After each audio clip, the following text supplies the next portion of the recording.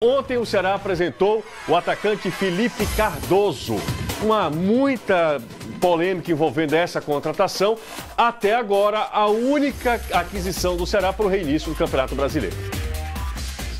Assim que foi anunciado, boa parte da torcida desconfiou. No Instagram do clube, por exemplo, comentários desaprovando a contratação do atacante. Essa desconfiança é porque Felipe Cardoso, apesar de muito novo, 20 anos, sofreu com duas lesões no pubis ano passado. Ficou seis meses sem jogar em 2018. Um dos médicos do Santos chegou a pedir demissão, alegando que o clube Santista não deveria ter aprovado a contratação do jogador por conta da pubalgia.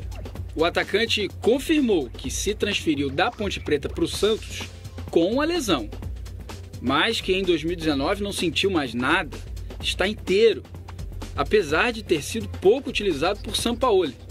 Foram só seis jogos e nenhum gol marcado. Eu tive um problema de pubalgia, todos sabem, o, quando eu fui contratado pelo Santos eu estava machucado.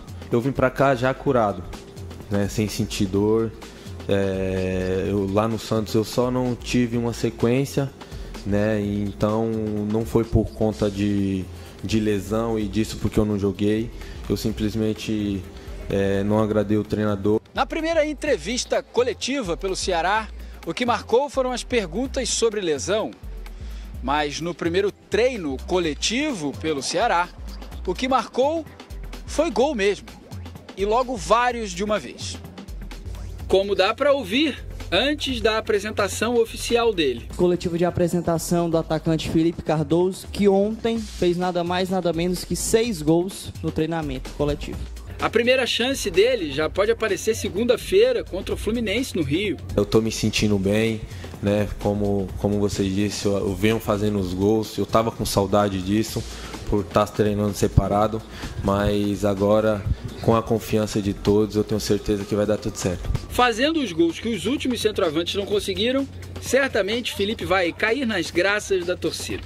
Hoje eu sinto muito feliz de ter essa oportunidade no Ceará né? Agradeço ao Ederson por, por ter me dado essa, essa, essa oportunidade. Espero que possa dar tudo certo, que eu possa conquistar meu, meu espaço com muita humildade, pé no chão, né? respeitando meus companheiros e que eu possa fazer um bom semestre junto com, com essa equipe que me abraçou de uma forma excelente. Henderson Moreira chegou a falar que um jogador para fazer 20 gols seria maravilhoso. Faltam 29 jogos para terminar a Série A. Já pensou 20 gols em 29 jogos? Missão quase impossível para qualquer atacante. Então, se o Felipe fizer metade desses gols aí, já vai ficar marcado. Tá bom demais, né? Se ele fizer 10 gols, ele faz, por exemplo, mais gols do que o Arthur fez no Brasileiro do ano passado, né? Seria já uma marca interessante, ele já tem 26 jogos, é, num campeonato em que os artilheiros fazem poucos gols, o futebol brasileiro há muito tempo parou de ter artilheiro de campeonato com 28, 30 gols, hoje é com 18, 20, 21 no máximo. É uma grande aposta do Ceará nele e dele no Ceará também.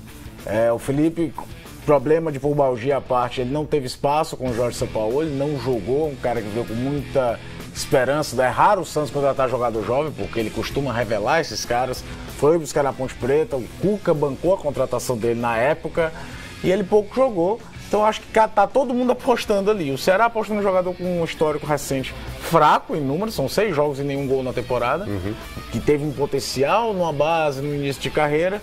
E é o cara só de 20 anos de idade, tá? E ele aposta numa reconstrução da sua carreira aos 20 anos, num time que tem como grande defeito o setor que ele atua, que é o setor de ataque. Será um time quando todo você vai perguntar para qualquer cronista no Brasil, sempre olha no será um time arrumado, um time que atrapalha a vida dos outros, mas que não tem o poder de definição. Então, todo atacante que é contratado vai ter invariavelmente pelo menos uma, duas chances de jogar. Não é aquela coisa de um time que já tem atacante, que o que vem, vem para compor e talvez tenha uma chance. Qualquer centroavante que será contratado nesse momento vai ser usado porque não tem nenhum jogador que você diga, puta, esse aqui é o dono da camisa nova. Inclusive- Mesmo com numeração fixa, né? Ele vai jogar com a 98. É, inclusive, na apresentação dele, enfatizou-se né, os gols que Pois ele é, fez durante o no treino, né? coletivo, né? Então, mas, mas, de qualquer maneira, aquilo que você falou agora há pouco, é necessidade mesmo, Sim, né? é, é exatamente É necessidade. isso. Você, isso. você enaltece o que está faltando, por exemplo, que o cara trouxe agora, fez gols no- durante os treinos, disse: olha, esse cara já chegou fazendo gol. O que a gente está precisando. É mais ou menos isso. É claro que uma coisa não tem nada a ver com outra, né? Ah. O treino não quer dizer muita coisa em relação ao que a gente vê dentro de campo no Pode jogo dar valendo. confiança né? pra Pode, ele, claro né? Pode também. Isso. Claro que Nesse pode. sentido, de número de gols tal, pode dar uma confiança pra ele. Mas, por exemplo, o próprio Ceará, você vai lembrar, mostrava nas redes sociais os gols do Bergson nos primeiros treinos. É, sim, sim, sim. Não aconteceu nada, né? O caso do Leandro Carvalho, por exemplo, que era um baita. Não, não era o Leandro. Ah, o Leandro, é, o Leandro é o lado inverso, né? Que nos treinos ele não vai tão É, bem. é, historicamente mas- se fala isso, é que no mas- treino ele é meio. Mas em jogo, Em jogo quando vivia cresce, o grande né? momento dele, ele crescia, Ele né? cresce.